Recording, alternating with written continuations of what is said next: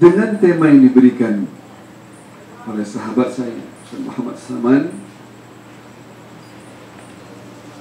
kewajiban menjadi orang-orang yang muslih.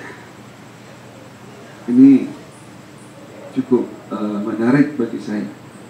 Karena dahulunya saya sering melantunkan doa yang diajarkan oleh guru saya Syekh Muhammad Jibril Imam Masjid Amr bin As ya Wa aslih bina waj'alna salihin muslihin salihin muslihin bimannika wa karamika ya akraman akramin arti doa ini ya Allah perbaikilah kami artinya ya Allah rawatlah hati kami rawatlah tingkah laku kami rawatlah pikiran kami agar senantiasa jernih dan ikhlas kepada Allah aslihna wa aslih bina jadilah kami di antara sesamanya saling memperbaiki.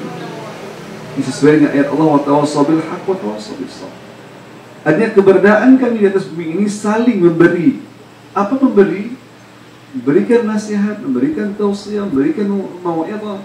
Saling memberikan peringatan mengingatkan satu sama lainnya. Sama kita hidup di atas bumi Allah